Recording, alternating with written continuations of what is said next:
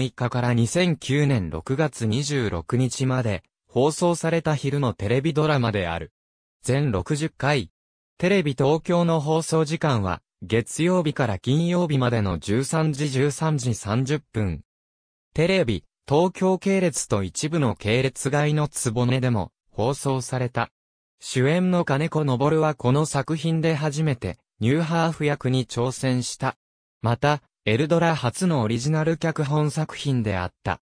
3作目となる、この作品からが実施された。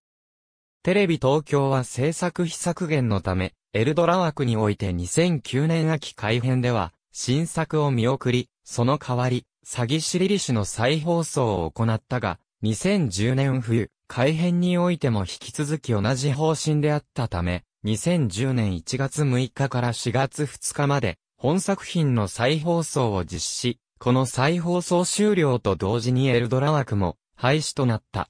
一流企業に勤める大熊岩太郎の夜の顔は、ニューハーフバー一のルナ。そんな岩太郎のもとに、以前の恋人の息子、新人という5歳の男の子がやってくる。下表の情報は、本放送時のもの AB 焼きの改編、ドラマ新作見送りも、経営環境の悪化で朝日 .com2009 年9月8日、詐欺師、リリコの再放送が決定。詐欺師、リリコ公式サイト2009年9月10日ただし、祝日は、再放送は実施していなかった。